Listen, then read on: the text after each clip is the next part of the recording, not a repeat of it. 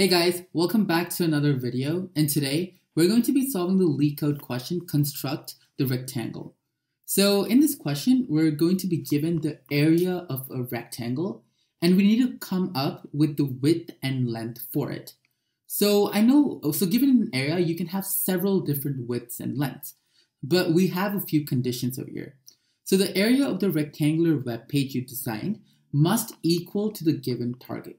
Okay, uh, so that's the first condition, obviously. So the width and length, when you multiply them, should equal to the area. Second uh, condition is the width W should not be larger than the length L. So what that means is the length is always going to be equal to or greater than the width. So notice how it can be equal to as well. And the third one we have is the difference between the length L and the width W should be as small as possible. So over here, uh, so we can have several different combinations, but we want the combination which has the least amount of difference. So the most optimal solution would be in the case where the length and the width are the same. So let's just go to our uh, drawing pad over here and see how we can solve this. So let's just say we have a rectangle over here, and this rectangle has an area of 20. Before that, just real quick, kind of like a quick reminder. So the area is nothing else but the length multiplied by the width. And we also have a condition over here, which is uh, the length is always equal to or greater than the width. So we need to make sure that length is equal to or greater than width. Okay, so what are some possible combinations for in this case? So we have the number 20, and let's just take a look at it. So the area is 20, and we'll, we'll write the length over here and we'll write the width over here. And like we see over here, the width is going to have the smaller value. So let's just start off with the number 1. So we have 1 year, and so to get to 20, we're going to uh, multiply that with uh, 20, right? So 20 multiplied by 1 equals to 20. So this is one combination. Another combination is when our width has a value of 2. So when our width has a value of 2, uh, we need something the length, which so let's just call this x, for example. So x multiplied by 2 is going to be equal to 20. So in other words, that x value is just 20 divided by 2. So 20 divided by 2 is equal to 10. So the length over here is going to be 10. So then we have one last combination, which is the number 4. So we have 4 over here, and we'll have 5 over here. So over here, let's see the difference between the length and the width. So over here, we have a difference of 20 minus 1, 19. Over here, we have a difference of 8, and over here, we have a difference of 1. So which one has the least difference? Obviously, this one over here. So this over here is going to be our answer. We're going to have 5 as our length, and we're going to have 4 as our width. So this is what we're going to return. But so now that you understand the question, how can we actually come to this number without looking at each and every single combination until we find a good or valid combination? So let's just see how we can do that real quick. So let's just look at an example where our area is going to be equal to 100. So when our area is 100, let's try to find the length and width. And to do that, a very simple thing we can do is we can do the square root of 100, right? And the square root of 100 is going to be 10. So in this case, so this is going to be our perfect scenario. Over here, the length is equal to 10 and the width is equal to 10. So the difference between them is 0. And when you do 10 multiplied by 10, you get a value of 100. So in this condition, you meet all of our cases. So this is what we're going to do. We're going to be using the square root in order to find the best solution. So in our previous example with 100, when you square root it, you get an integer right away. But what if that's not the case? And that is not always going to be the case. So let's take a value of 200, for example. And when you do square root of 200, let's see what we get. Okay, so I'm just to open Python real quick. And over here, let's import math in order to do the square root function. And math dot square root. And we want to find the square root of 200. So the square root of 200 is 14.14, right? So 14.14. So over here, we're going to have our first check if when we get when we perform the square root of this number and it is an integer value, right? And in that case, we know that we found a value where the length and the width are the same, and we're just going to return that. But this is not the case. So what we're going to do over here, we're going to convert this to an integer.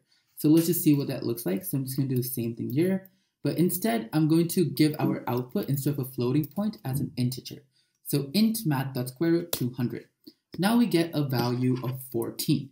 So 14 is going to be our starting value. So this can be the length or the width. So as of now, we don't really care what it is. So considering that this is one of the parameters, what is the other parameter going to look like? So now let's find the other parameter. So to do that, we're just going to do 200 divided by 14. And in this case, we get 14.28. And this value is also not an integer. And because it's not an integer, that means that 14 is not one of our answers. So in this case, we're going to decrease our answer. And now let's go to 13. So 13 is going to be one of our parameters. And the other one is going to be 200 divided by 13. And this is again a floating point value, 15.3846. Again, this is not an integer. So we're going to decrease our value by 1 again. So now we're going to have 12. 200 divided by 12. This is again a floating point. This is not our answer again. So now we're going to decrease it again. 200 divided by 11. And now we're going to decrease it again. And now, finally, we found a number which is an integer, 20, right? So when so we kept go, decreasing it by 1, and then we found the number 10, and it corresponds to a value of 20. So when you multiply 10 and 20, you get a value of 200. And this is actually the best uh, value we can get in terms that we satisfy this uh, condition over here, and by the term that the length and the width are closest to each other. So 10 and 20 are our two parameters. And which one is going to be what? And to do that, it's pretty simple. So you can look at a condition here length is always greater than width. So what are the bigger value over here is 20, so that's going to be our length, and the smaller value is 10, so that's going to be our width, and we're going to output that. So let's see how we can do this in code. It should be a lot easy to understand. Okay, so like I said earlier, we're first going to find the square root of our area, and we're going to convert it into an integer. So int math dot square root and then we're going to square root the area. So now we're going to get the square root of the area. And what we're going to do is we're going to go inside of a while loop, so while true. And what we're going to do over here is we're going to look for the other value. So in the beginning, x is going to be one of the conditions. And now let's look for the other condition. And let's just call that y.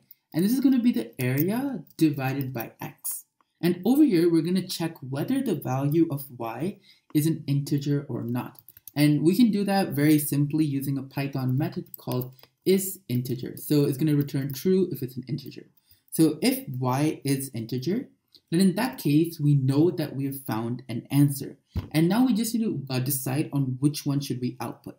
So if the x value is greater than the y value, then in that case, we're going to return x uh, first, and then we're going to return the y value. And one thing we need to do over here, we need to return int y because um, our answer is only accepting integers.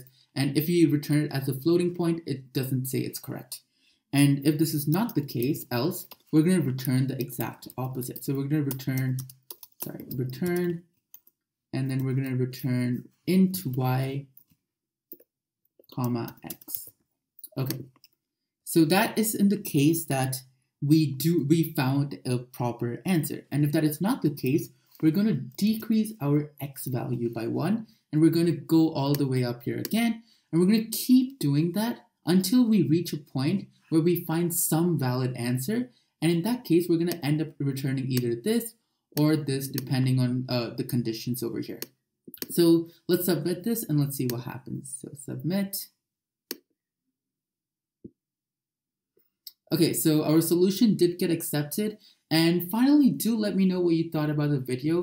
And don't forget to like and subscribe if this video helped you. Thanks a lot, guys. Bye.